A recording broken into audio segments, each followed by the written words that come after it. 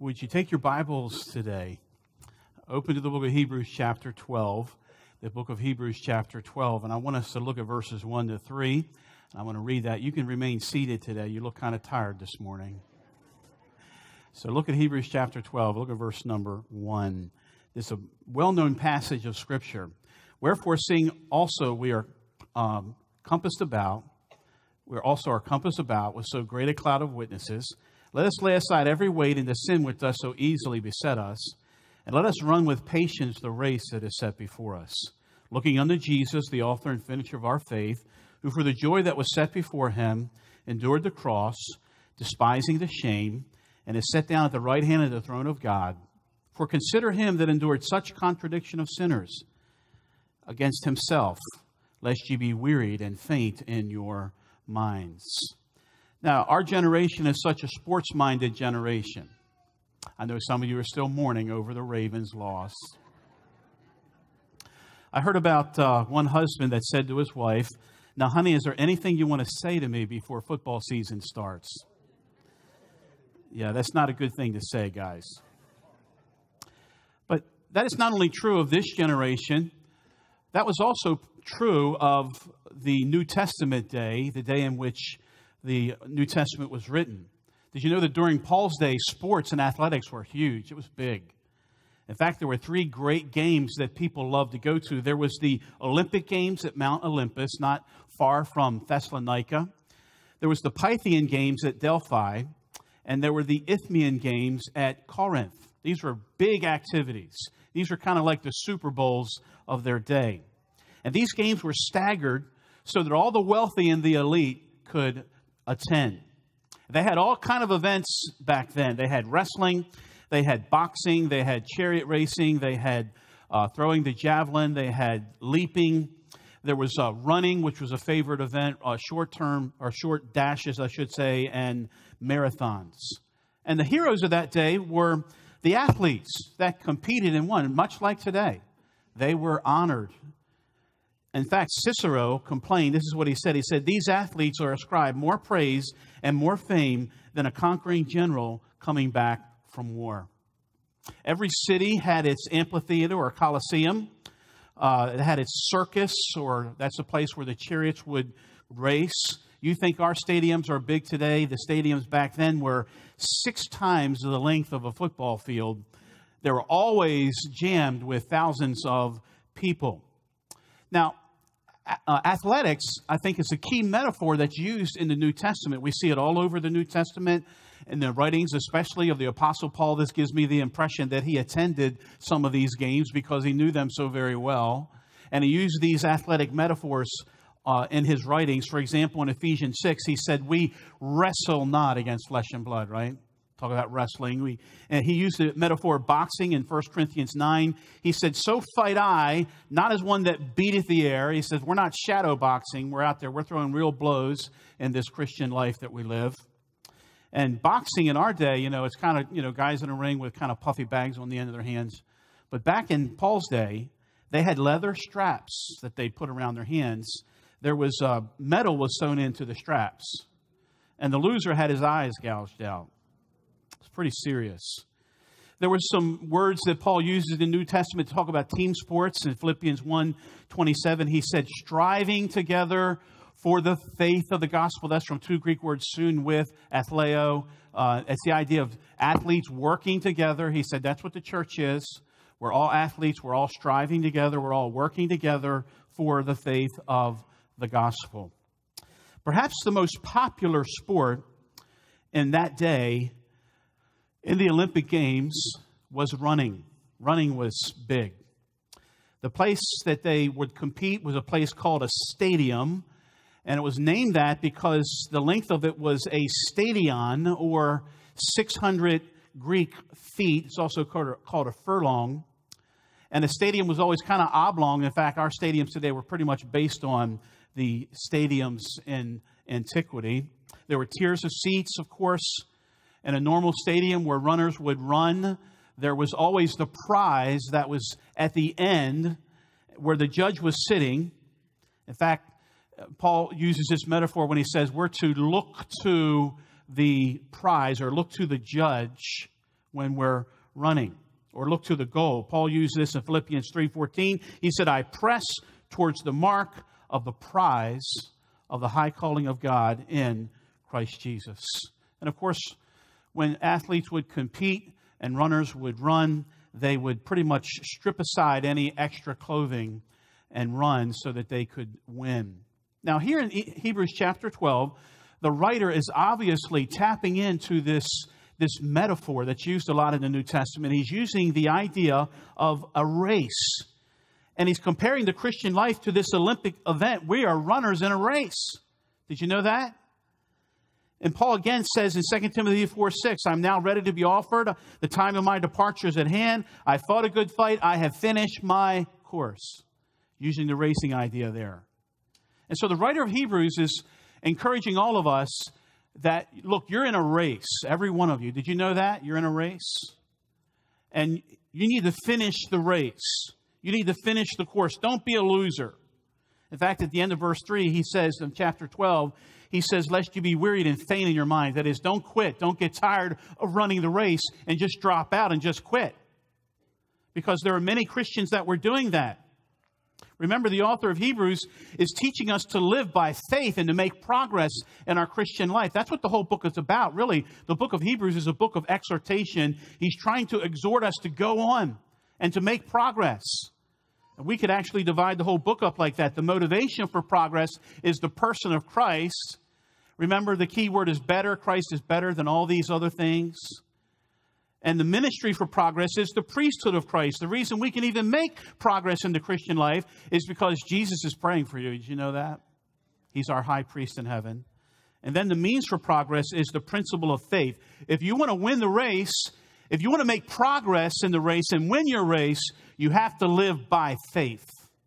And that's what we've been learning in Hebrews chapter 11. Are we really living by faith? So you're in this race you're competing, and we and, the writer of Hebrews says we want you to win this race that you're in. Don't drop out. And what I want you to see in this passage are three helpful incentives to running a good race and not quitting. And here's the first one. Number one, think about the encouragement for the race. Look in chapter 12, look in verse number one. Wherefore, seeing we also are compassed about with so great a cloud of witnesses. Now, these cloud of witnesses that the writer is talking about, he says they're surrounding us. Look at the word wherefore. It kind of points back to all that he said, all that we've looked at and studied in chapter 11. Now he's saying, because of all of these witnesses that we just learned about, these characters listed in Hebrews 11, these great saints of the past, of yesteryear, all who ran a good race, we're to look to them for encouragement we're, they're, they're compassed about, they're all around us. And uh, I think he's referring to the idea that they're kind of in the, in the stadium, they're in the grandstands, they're now looking at us who are competing. They competed for a time, their race is over. Now they're kind of seated in the stands and they're watching us run this race. That should encourage you. Now, some people say, now, wait a minute, do you really believe that the saints in heaven are watching us here on earth? Because you know, I, have said that before, and I've had scholarly people kind of criticize me over that. Oh, preacher, do you really believe that the saints in heaven are looking down at us here on earth? I mean, that, that, that just kind of seems like far fetched. Well, it's not really far fetched, beloved. Uh, I believe that the saints in heaven are watching the race here on earth. I believe that. Now, I know that some people say, well, the saints in heaven, they're beholding the glory of Jesus. And I agree with that. Where there's so much to see in heaven, we will behold the glory of our Lord Jesus Christ. But let me remind you that part of the glory of Christ is the unfolding of redemption on earth and the things that are taking place on earth. In fact, I've presented this argument against those who kind of criticize me for holding to this position. Do you remember in Revelation chapter 6, verse 10, their martyred saints are in heaven and they came up to Jesus and they said something to Jesus? This is what they said How long, O Lord, holy and true, dost thou not judge and avenge our blood of them that dwell on earth? Note they're saying, Lord, when are you going to take vengeance on those who martyred us? Now, how did they know to ask that question if they didn't know what was going on on earth? How did they know to even ask that question? In fact, much of the book of, the, of Revelation is talking about saints in heaven beholding the things on earth. If you think about it, Revelation chapter 19, they are celebrating in heaven because Babylon has finally fallen and being destroyed. How did they know to celebrate if they didn't know that? What's going on on earth? So, to what degree and what details the saints know the things going on down here, I don't know the detail about that. But I believe they know what's going on. And I believe they watch the race that we run. But having said that, the real emphasis here in this passage is not how they look to us, but how we should look to them for encouragement. That's the whole idea of this passage. The writer is saying, Look, don't you realize they have run a race before you? And when you're tempted to quit, when you get discouraged, you need to remember them. You need to look to them because they ran a good race. Let them be your inspiration. Remember, I said that Hebrews 11 is kind of like the hall of fame for believers. You ever been, you know, the, to the Hall of Fame? There's two, and one in baseball in Cooperstown, and one in Ohio. I, I went to the one in uh, Cooperstown. I remember going there years ago. I went walked through the Hall of Fame. You know what I found? A bunch of young baseball players looking up in awe and admiration at all those awards, looking at all those players that played. Obviously, they were there to admire those players and to draw inspiration. Is there a Hall of Fame for we believers that are running this race of faith that we can look to. Yes, it's Hebrews chapter 11. We just went through it. You can look to them, you can get inspiration from them. They all ran a good race, they all knew how to win. They opposed Pharaoh, they forsook the pleasures and prerogatives of his court. They passed through the Red Sea. They shouted down the walls of Jericho. They conquered kingdoms. They shut the mouths of lions. They quenched the power of fire. They received their dead by resurrection. They were tortured. They were mocked. They were scourged. They were imprisoned. They were stoned. They were sawn asunder.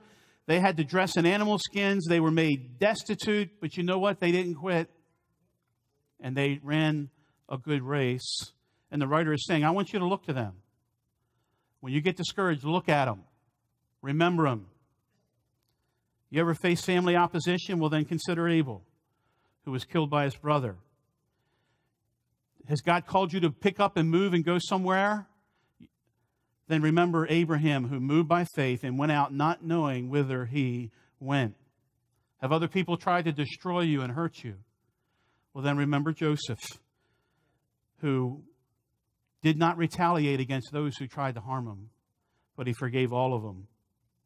And it may be that there's a time in your life that you have to make a costly decision. Well, if you do, remember Moses, who choosing rather to suffer affliction with the people of God, esteemed the reproach of Christ greater riches than the treasures of Egypt. And when you're misunderstood and no one can really see the vision that God gave you, then remember Noah, who being warned of God of things not yet seen, moved with fear and prepared an ark to the saving of his household. And we can go on. What more can I say, like the writer says? For time would fail to tell of Gideon and of Samson and of David and of Samuel the prophets, who through faith subdued kingdoms, wrought righteousness, obtained promises, and stopped the mouths of lions. And on we could go. And friend, when you're tempted to just throw in the towel and give up, then read Hebrews 11 and go down the hall of fame of faith and remember, look, these were just ordinary people. There was nothing superhuman about them, but they learned to live and walk by faith. That's the encouragement for life's race. But write down number two, the entanglement. Here's another thing to consider the entanglement of life's race. Look in verse number one again. It says, laying aside every weight and the sin which doth so easily beset us, and let us run with patience the race that is set before us.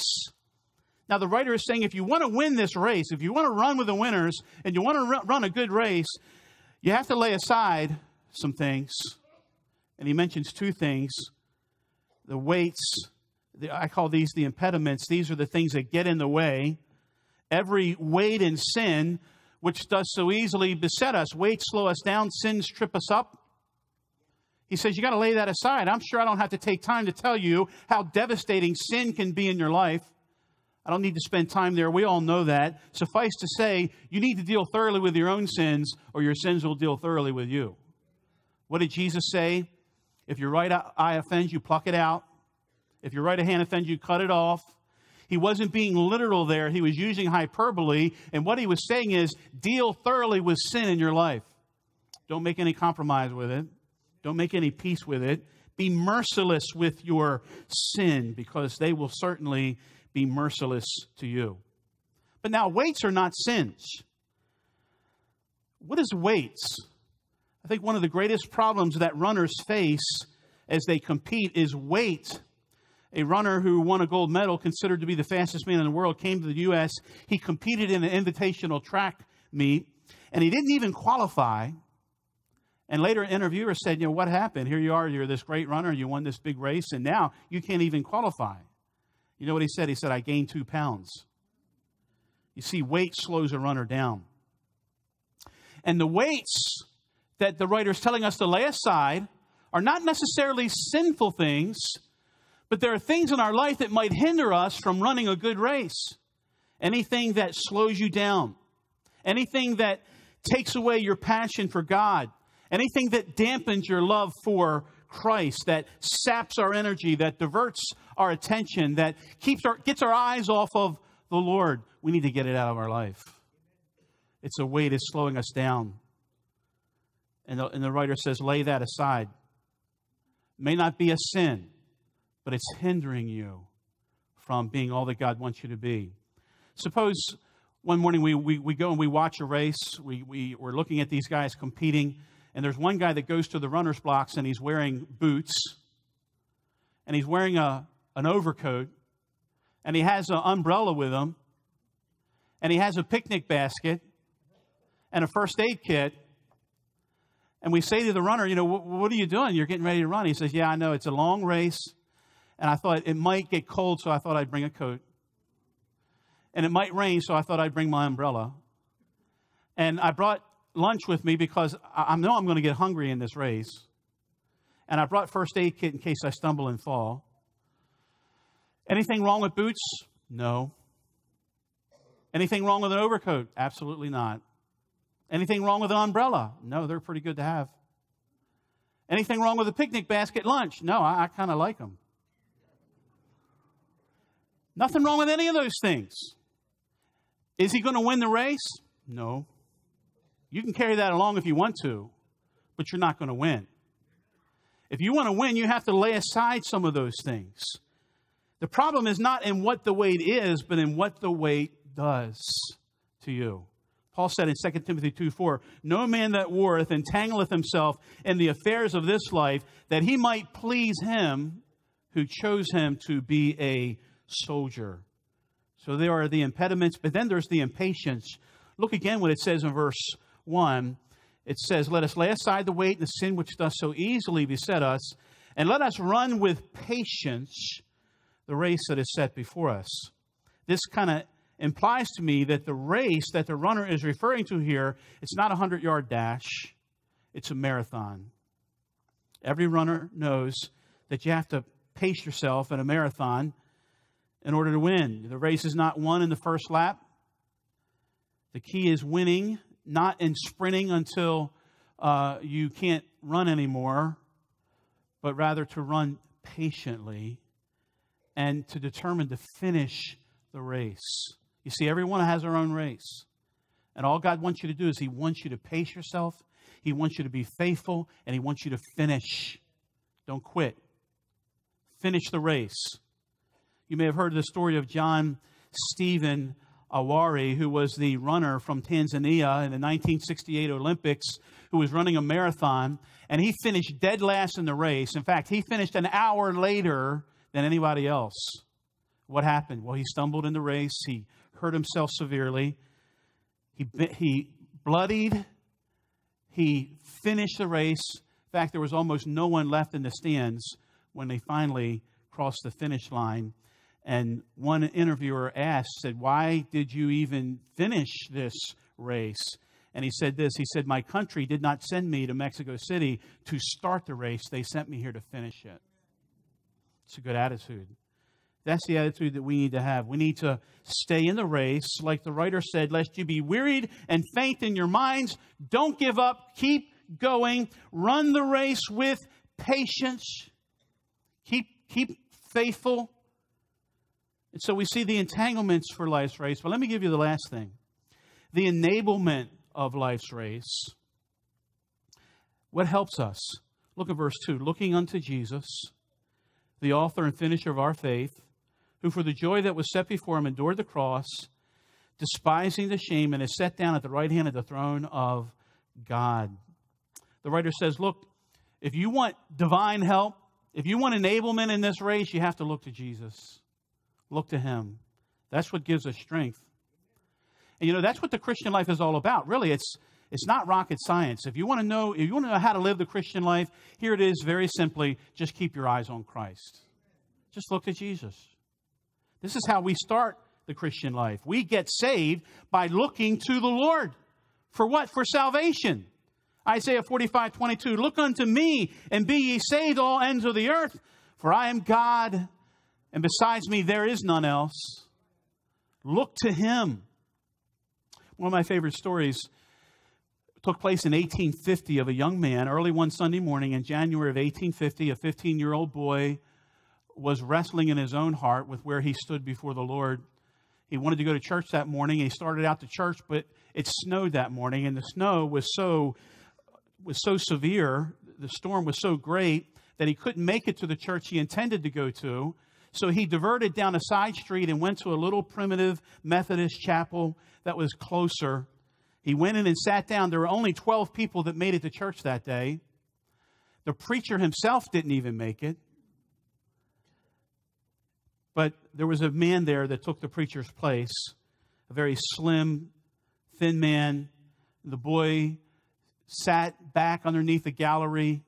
He saw this man get up. He assumed he was a deacon. This man went on to preach, and the man announced his text for that morning. It was Isaiah 45 22, the verse I just read. Look unto me and be ye saved, all ye ends of the earth. And as the young man heard this man preach, it was obvious to him that this man was not very educated. He mispronounced some of the words, but he began to deliver the sermon and he began to say, You know, look, this text is very simple. It's not hard, it's not a lot of pain just to look. The text doesn't say lift your finger or lift your foot, it just says lift your eyes. He said, Anyone can look, even the biggest fool can look. And then he went on in his text. The text says, Look unto me. This is Jesus saying, Look to me. And this man began to preach that. Ten minutes in, he pointed to this young boy that was there. He said, Young man, you look very miserable this morning. Can you imagine me doing that to one of you here today? You look very miserable this morning. You need to look to the Lord, look at Him and be saved. And far from being offended, that 15 year old boy, his heart was touched and this is what he said. Later, he said, I had been waiting to do 50 things, but when I heard that word look, what a charming word it seemed to me. There and then the cloud was gone, the darkness had rolled away, and that moment I saw the sun. And I could have risen that instant and sung with the most enthusiastic of them of the precious blood of Christ and the simple faith which looks alone to Him. Oh, that somebody had told me this before. Trust Christ and you shall be saved. And that 15 year old boy went on to become one of the greatest preachers of the modern church. His name was Charles Spurgeon, and we now call him the Prince of Preachers. You know, salvation is so simple, you just look to Christ.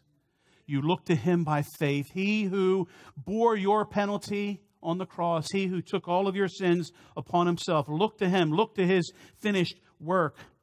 We enter the Christian life by looking to the Lord. We end the Christian life by looking. The Bible says, looking for that blessed hope, that appearing. We sang about it one day when Jesus will appear. All of the Christian life is looking to the Lord. And what are we to look at? Look in verse number three. Notice what it says For consider him that endured such contradiction of sinners against himself, lest ye be wearied and faint in your minds. The word consider here is a Greek word, analogomai, where we get the word analyze.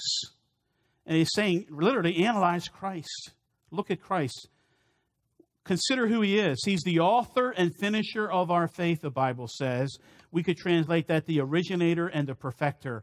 Jesus originated this race of life. He perfected it. He showed us with his own earthly life how to live by faith. You know, all during his earthly ministry, Jesus lived by faith. He looked to the Father. He prayed. That indicates to us that he lived every day of his life by faith in the Father. He prayed and sought the Lord every day. Consider who he is. Consider what he did. It says he endured the cross. In verse 3, it says he endured such contradiction of sinners. The word contradiction means opposition. You talk about opposition, nobody had opposition like Jesus did. No one was persecuted like he was. He endured all of that. He endured the cross. And consider how he did it. Notice what the Bible says in verse Number two, looking unto Jesus, the author and finisher of our faith, who for the joy that was set before him endured the cross, despising the shame. How is Jesus able to endure? How is he able to run his race? He looked at the joy, future joy. You know what he saw in the future? He saw his, not only his suffering on the cross, but he saw his resurrection. He saw his ascension into heaven. He saw himself presenting to the Father many sons of glory. That's you and I being saved. He saw future glory. That's what kept him going. And he's our example. You know what keeps you going in the race of life? Not looking at the present, but looking at the future. Looking at future glory. Not the present groan, but future glory. The Bible says that uh, that the things that we're going through now are nothing in compared to the glory which shall be revealed. And that's what Jesus did. He looked to future glory. He kept his eye on that. And really, we could say it like this what kept him going was looking at you and your salvation, what he did for you. Your future glory was his motivation for him to keep going. Now he's exalted in heaven, he's at the right hand of the Father and the writer that was writing to this, this people, they had a tendency to constantly be looking back and wanting to quit. And the writer is saying, No, don't do that. Look to Christ and look at Him. Notice how He ran the race. He looked to future glory. Follow His example. Do what He did if you want to win in this race of life. The encouragement for the race, the entanglement, consider that. Consider the enablement is looking to the Lord Jesus Christ.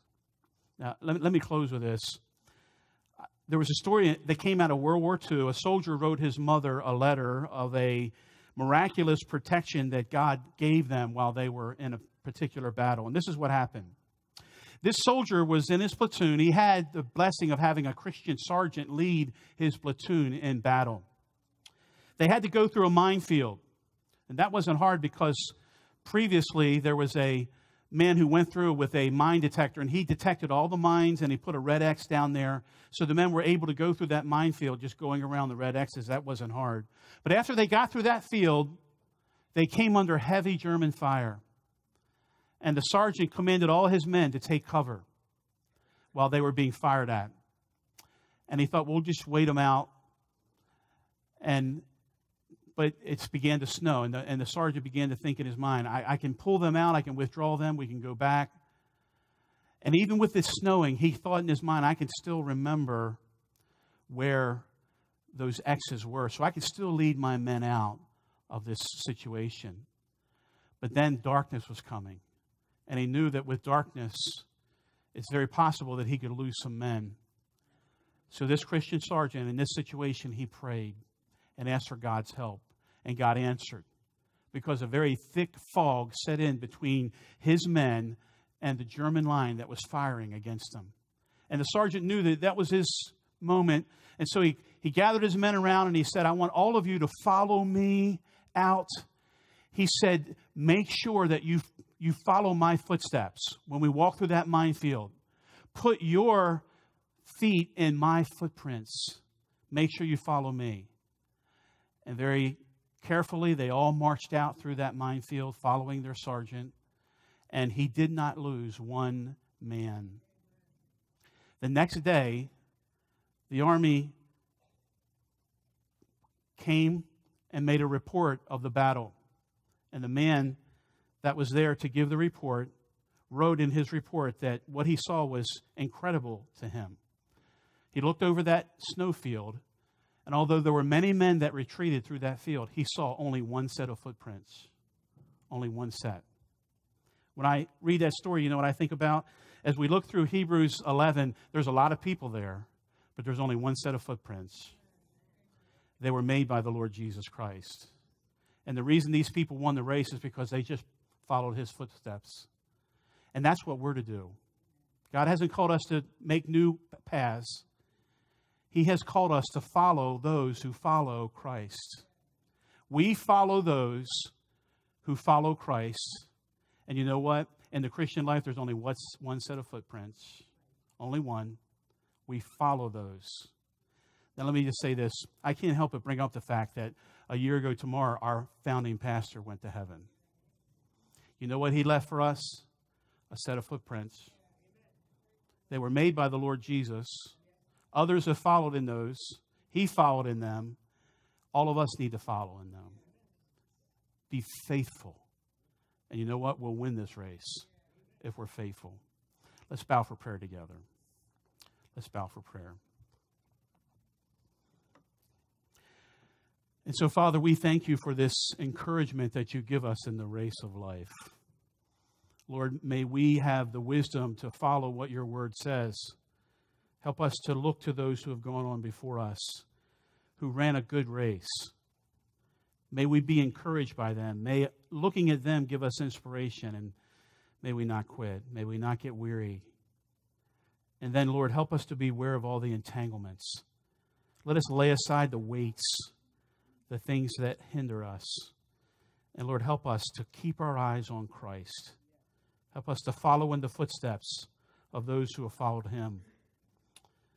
Looking unto Jesus, the author and finisher of our faith. Lord, help us to run a good race and win.